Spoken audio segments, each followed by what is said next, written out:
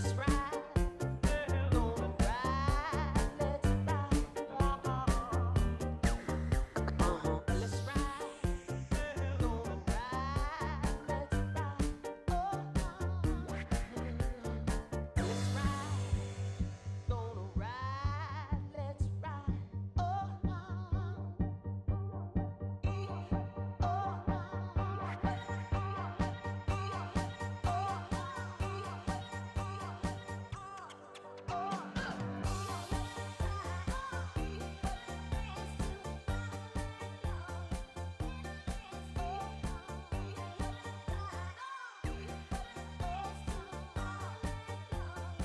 Zdar lidi, vítám vás u dalšího videa se SPZ.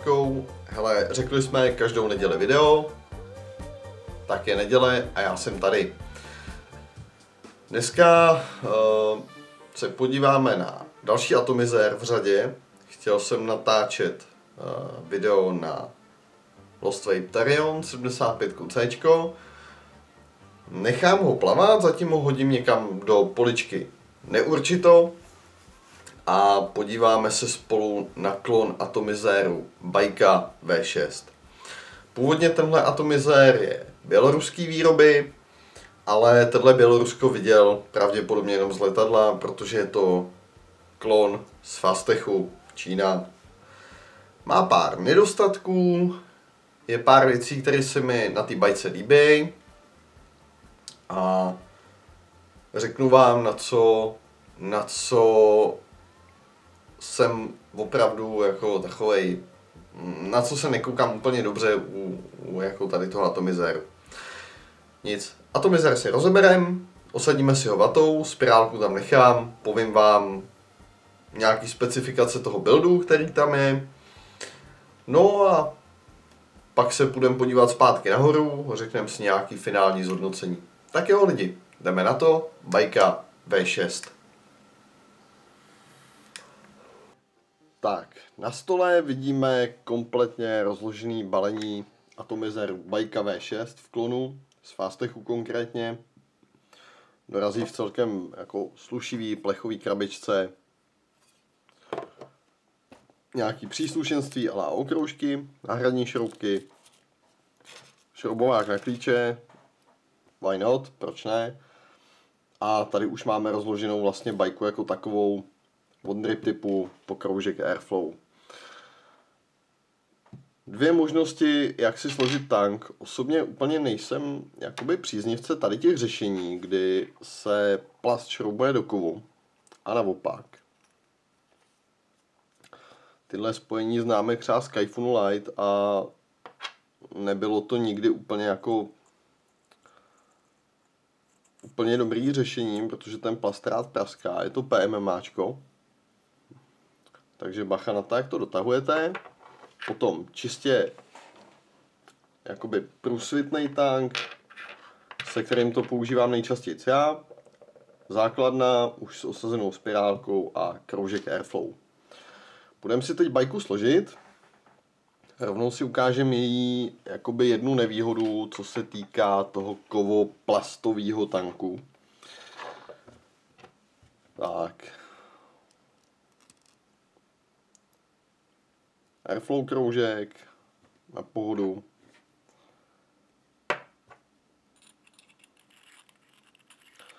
Kotelná, hnedka mám jednu výtku. Vrže a trošičku se hryzá v některých pozicích.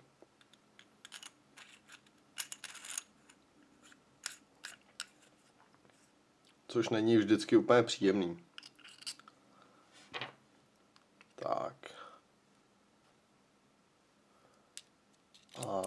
Takhle máme složenou bajku s plastovo-kovovým tankem. Co mi tady dost vadí na tomhle osazení je to, že nevidím, jak moc mám otevřený nebo zavřený přísun likvidu.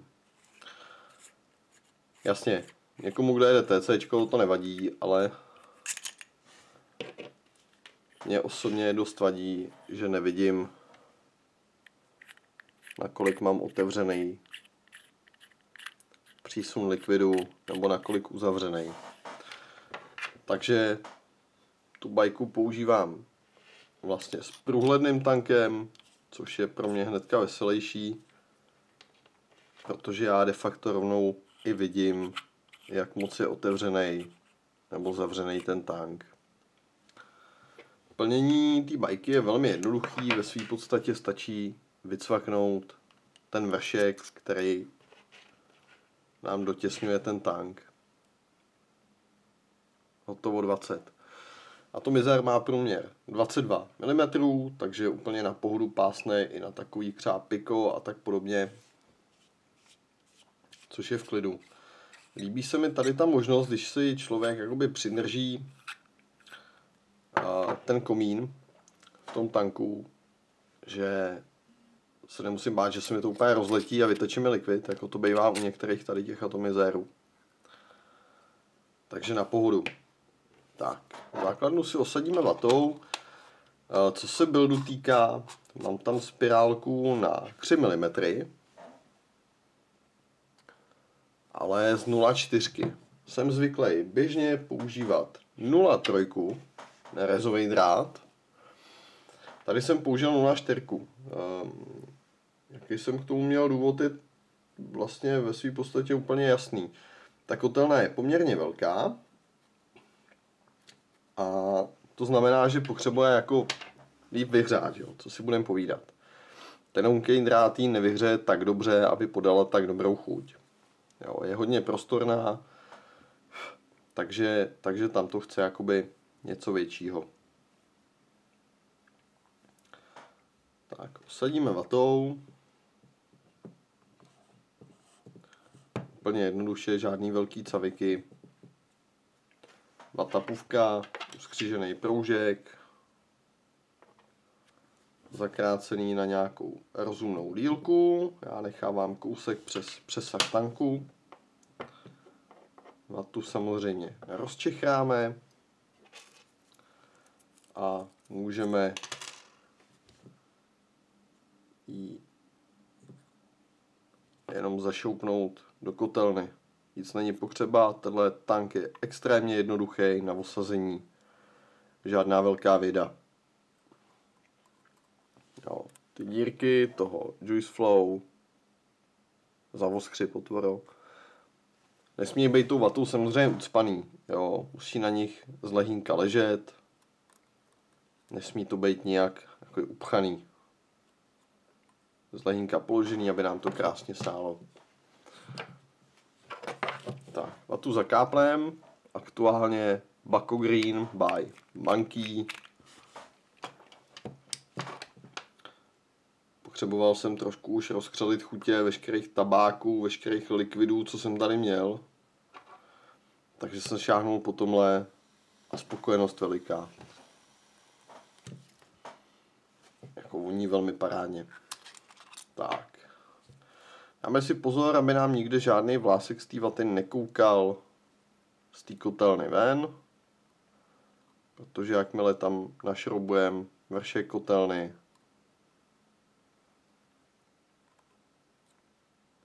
tak by to špatně dopadlo, vytáhlo by nám to vatu ven.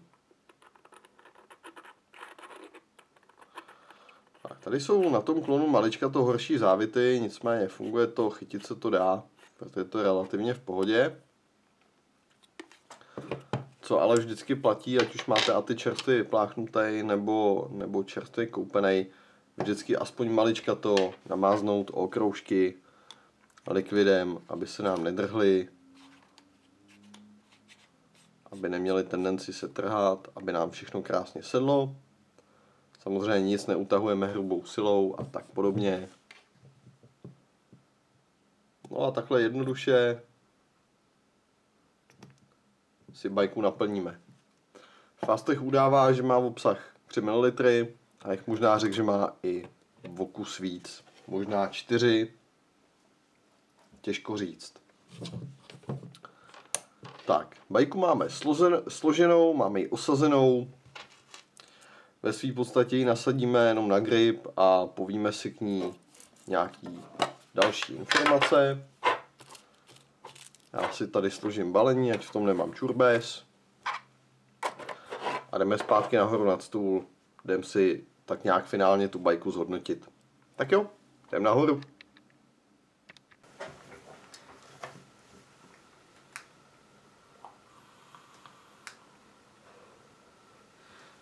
Tak, viděli jste rozborku a osazení bajky. Není to nic těžkého. Jak jsem říkal, štve mě tam malička to, že přes to druhé tělo vlastně s tím kovem není vidět, eh, jak moc je otevřený přívod likvidu. Trošku mi tam vadí lehce se zahryzávající závit eh, na té kotelně. Jinak v osazení naprosto jednoduchý. Ta 0,4 do toho krásně pasuje, a ta klasika puvka. Hele, nemám moc, co bych jí vytknul. Ve své podstatě fakt jenom pár drobností. Trošku hrubší opracování, horší závity, ale jakou ten účel splní. Hele, kdo byste si chtěl bajku zkusit, kupte si ten klon, uvidíte. Jo, buď to vám sedne, nebo ne.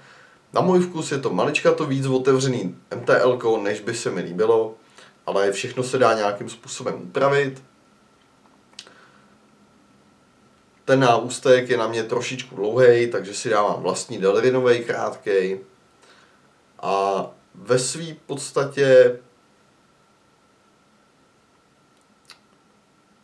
ve své podstatě jako spokojenost s ní. Neteče, možná malička to rosí okolo toho airflow prstínku, ale jako co už. Na co bych si dával pozor, tak, je, tak jsou jakoby eh, likvidy nějaký citrusový a tak podobně, protože ty, eh, ty plastový PMMA vlastně těla eh, nemají úplně v oblibě nějaký agresivní likvidy. Bylo to tak, je to tak a bude to tak. Prostě mohlo by se stát, že vám nějaký citrus, prostě to, to tělo lehce naleptá a samozřejmě člověk to jako ulit nechce, že jo. No, plnění úplně ultra jednoduchý. Co víc si přát, hele. Snadný atík, dobrý jídelník. Není mu jinak moc co vytknout. Tak jo lidi, tohle byla Bajka V6. Já se budu těšit u dalšího videa. Příští týden v neděli. Zatím se do té doby mějte hezky, dávejte na sebe bacha, užívejte sluníčka. Motorkáři, hele, bacha, bacha na silnicích, svítičkou už sluní a lidi jezdí jak magoři. Tak ať se sejdeme zase všichni jako celý. Tak jo, díky za koukání, mějte se pěkně. Čau lidi.